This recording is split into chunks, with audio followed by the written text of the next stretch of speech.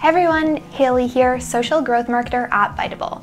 Today I'll be teaching you how to remove your audio from your video using Biteable. Let's get started.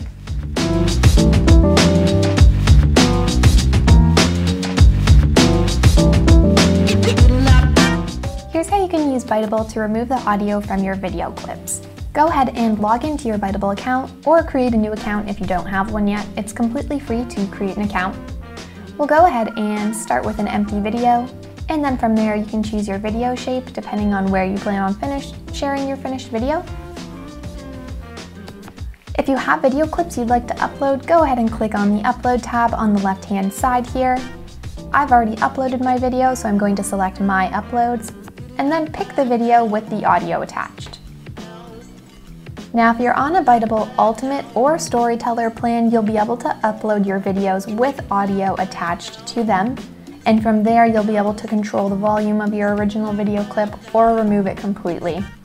If you're on a free Biteable plan or the Plus Biteable plan, your videos will automatically be uploaded with no sound, so you won't have to complete this step. To remove the audio from this original video clip here, we're going to go ahead and navigate over to the right hand side here. From there you can see we can control the volume of the video clip, turn it up, turn it down, or completely mute it. And we completely mute this video to remove the audio track.